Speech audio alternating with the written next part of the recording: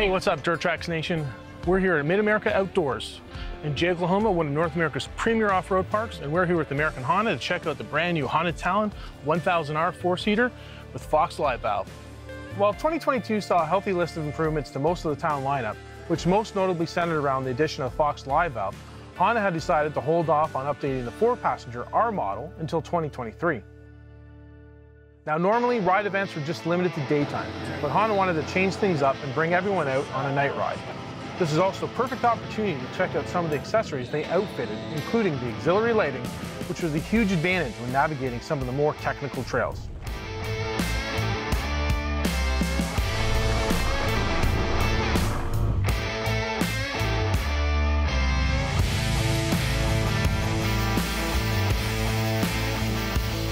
When it came to the night ride, there was no shortage of gnarly terrain, and the electronically adapted suspension proved its worth, keeping the Talon stable and on center, as the Fox Live Valve shocks were constantly adjusting and soaking up all the harsh impacts.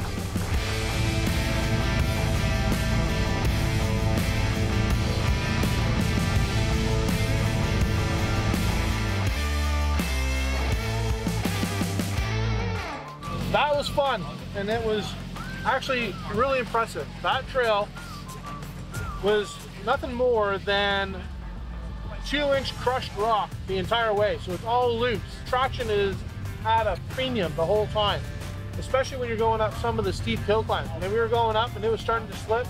Threw it into my four wheel drive. There wasn't even a hesitation. As soon as the wheels were slipping, it would slow down the rotation of the wheels enough to get traction again and then pick up and, and, and pull up the, uh, the hill. Overall, though, the ride and handling really, really comfortable. It was great to sort of get back in the Talon.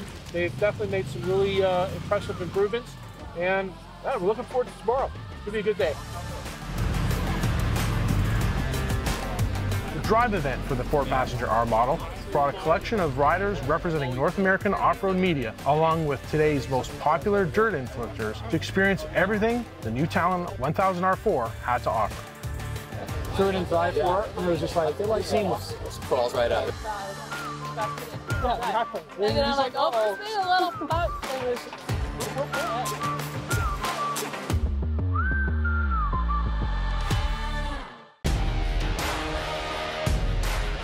It was our first time to Mid-America Outdoors, and man, was this place cool.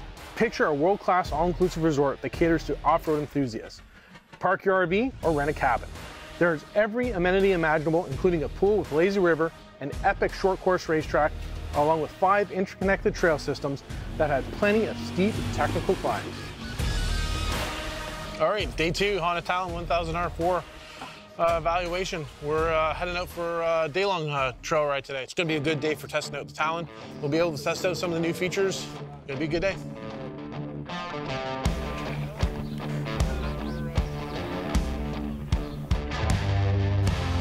Aside from the addition of the 2.5 inch diameter Fox Live Valve shocks, Honda also made big improvements to the responsive handling and reduced turning radius of the Talon R4, with updates to the electronic power steering unit, which provides 87% more torque assist.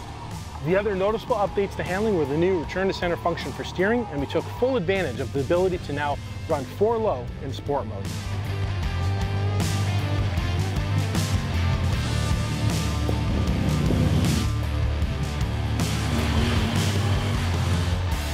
So a couple of nice uh, features about the Honda Talon, uh, especially when you're sort of on a steep hillside. We're not super, super steep right now, but still, I'm in uh, high gear and all stuff. If I were to sort of let off the brake and try to go forward, I'm obviously gonna start rolling back. So cool feature that they have here is your hill assist. Simply uh, push that in.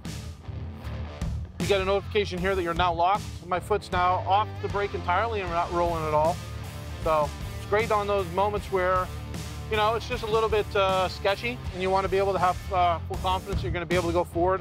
Ask anyone, and they'll tell you quality and durability have always been synonymous with Honda. In keeping with this, the engineering team focused on some key areas of improvement to ensure owners can take on the toughest trails. New for the 23 model are helical spline axles in combination with upsized axle nuts for better torque retention. The R4 also gets revised front A-arm suspension geometry with reinforced gusseting, and the wall thickness of the ROPS has been increased for improved strength and chassis rigidity. There was no shortage of water crossings during our ride, and the new full doors with integrated storage compartments did a great job keeping the elements out and keeping us dry And launch mode, well, what can I say? How can you not love it? Just got back from what amounted to be about a 20 mile uh, ride. The Honda Talon 1000 R4 comes 68 inches wide, um, Fox Live valve. It is, as Honda says, it is sort of still geared towards sort of that family fun vehicle. You can definitely get aggressive with it, but at the same time, it's not too wild for the trail system. And I think that's what I appreciated most about the vehicle today. The other thing that was um, still super, super impressive, and everyone here that was riding it today keeps on remarking about it, is I four-wheel drive. Any anytime the vehicle started losing traction, getting a little out of control, it would automatically just rebalance that power to the wheels automatically for you and just maintain traction. The other thing we got to talk about is we got to talk about Fox Live Valve. So these are 2.5 inch diameter shocks on it. They got two modes. They got normal and they got sport. Normal took all the harshness out throughout sort of that mid stroke and uh, just kept it really, really comfortable. We did sort of go into sport mode just to sort of try it. And you do notice a significant increase in terms of raising that damping curve. That suspension wouldn't compress as quickly. So it essentially just helped maintain your ground clearance a little bit better. You didn't fall into your travel as much. Ride impressions with regards to suspension, really, really good. A distinguishing characteristic of the Talon is its dual clutch transmission. While I definitely appreciate the advantages of a gear-and-gear -gear transmission, and I do like the fun factor associated with paddle shifters when in manual mode, it is something you have to get used to when compared to a conventional CVT. It's also nowhere near as adjustable. That being said, imagine a phone app that connects to the ECU, which allows you to further adjust the power profile and shift point, similar to the effect of changing the weights on a CVT clutch. Honda, if you're listening, that would be really cool. The crew at Honda saved the coolest experience to last, as they knew it was going to be hard to keep us from that short course racetrack. Racecode USA driver Dave Mason Jr., who competes in the Champ Off-Road Series, shared the driving duties and did some hot laps with the stock Talon R. Didn't matter how fast or how hard he pushed it in the corner, the Talon with Fox Live Valve shock set the sport felt like it was on rails. Honda's success on racing is backed up with its Pro UTV and Baja 1000 championships. The Desert Racing Talon is built on the four-passenger chassis with long travel suspension, and its naturally aspirated 1000cc mill maximizes its horsepower potential with the help from a custom Trinity X-Pipe exhaust and a special tune of the ECU. Getting the opportunity to ride shotgun in their factory off-road racing buggy was intense. 17-year-old Ethan Ebert kept it wide open throttle the entire time. What better way is it to finish off our stay here at Mid-America Outdoors with our, with our friends from American Honda than to sort of be able to go down to the short course and check out how the Honda Talon performs. The underlying most impressive feature with this Honda Talon is even though I know Honda markets as, a, as the ultimate sort of like family rec vehicle, it's the proven technology that goes into that motor. Not only is it for the short course racer, but also for their best in desert racer, that motor is completely stock. The only thing that they're doing to it is maybe messing with the ECU a little bit just to sort of amp it up a bit. But other than that, it's just a bone stock motor and, and transmission. And that says a lot about the technology and the reliability that goes into Honda. Definitely come away really impressed with the Honda. It's great that they sort of were able to sort of expose us to all those different elements and uh, hats off to them. And it's definitely something you guys need to check out.